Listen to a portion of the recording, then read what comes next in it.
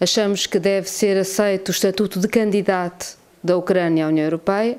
Naturalmente, a integração da Ucrânia na União Europeia precisa de requisitos que, enfim, neste momento não, não estão cumpridos e que será preciso averiguar e que a União Europeia deve até empenhar-se a que sejam conseguidos, nomeadamente princípios que têm a ver com o respeito pelo Estado de Direito Democrático e direitos, liberdades e garantias dos povos, a União Europeia não deve baixar os seus estándares desse ponto de vista e, portanto, enfim, é esta a nossa opinião. A Ucrânia deve ter já o estatuto de país candidato à União Europeia. É depois preciso que seja feito o caminho que a União Europeia deve apoiar para que a Ucrânia possa um dia vir a ter condições enquanto Estado de Direito Democrático para poder aderir à União Europeia no Bloco de Esquerda nós também achamos que não deve haver um processo de adesão rápido e que ultrapasse condições de Estado de Direito Democrático, de direitos, liberdades e garantias da população que devem ser exigidos a todos os Estados da União Europeia. Há, aliás, neste momento Estados da União Europeia que não estão a respeitar essas garantias